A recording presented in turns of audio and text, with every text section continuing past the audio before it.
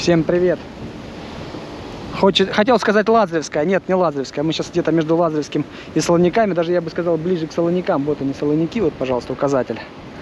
Проезжал сейчас я с одного места в другое, из пункта А в пункт Б, и не смог не остановиться. Хочется показать вам всю эту красоту.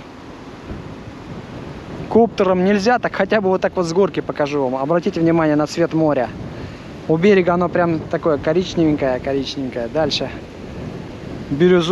потом темно-бирюзовое, потом синяя, синяя, синяя. Вообще красивая, красивая. Сильный ветерок. Деревья он колышутся. И вот, наверное, все, что хотел я вам сказать.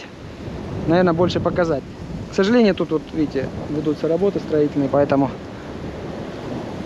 не очень самая, не самая лучшая картинка. Хотя, может быть, где-нибудь дальше я еще увижу, там есть на въезде в Лазаревскую тоже пятачок. В общем, очень классно, очень красиво. Вот и все.